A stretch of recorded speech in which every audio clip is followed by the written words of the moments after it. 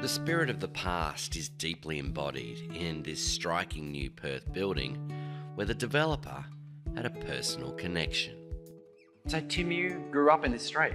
I did, I did. Uh, Mum and Dad are still here after 50 years, and uh, we live a few hundred metres away now. So uh, we're away for 20 years and ended up back, and yeah, the draw's too strong.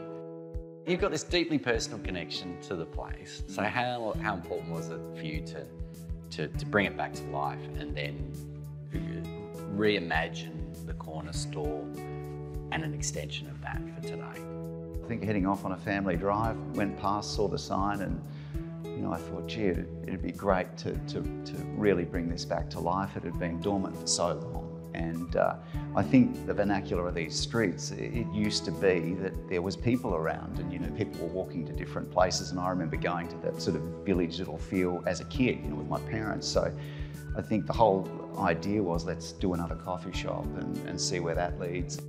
When you think about the role of the corner deli in neighbourhoods, it was really around local convenience, you know, enabling dad not to have to get in the car. He could walk in his slippers across the road, get milk and uh, paper, or kids coming home from school could get some mixed lollies. And so when we looked to reimagine what a corner deli could be in the 21st century, it was what other convenience do you want? You want somewhere to have a drink after work, so there's a wine bar, there's still a deli so you can get a paper and milk, but there's a florist, you know, there's a bike shop, all these other little bits that just help, you know, make your life easier. And I think that's what original delis were.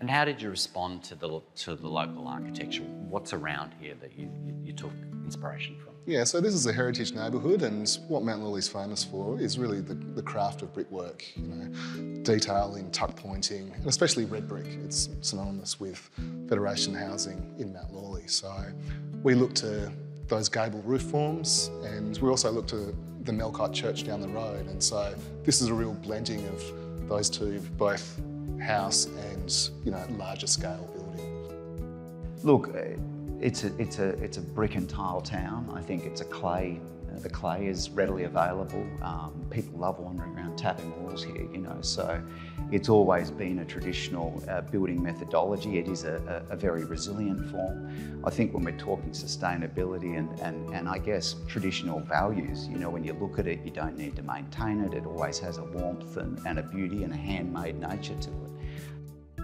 I think it's actually the craft of brickwork that's got people engaged with the building. And so one thing I like about working with brickwork is the module. It's, one module is you and your hands laying brick. It's a simple, humble object.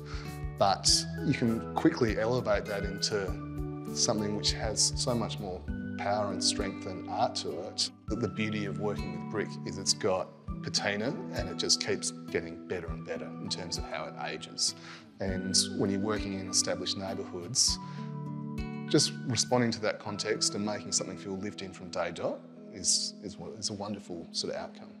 Yeah, it feels fantastic. I think, you know, these streets, as you say, you know, they're, they're my childhood streets and you, you, look at this and obviously there's a newness to it, but, you know, you look at it just from a, a form on the street, I, I feel really happy with it. It's exciting. And I think people are excited, you know, and, and as they've seen it come to life, they thought, oh, well, actually, that's really good.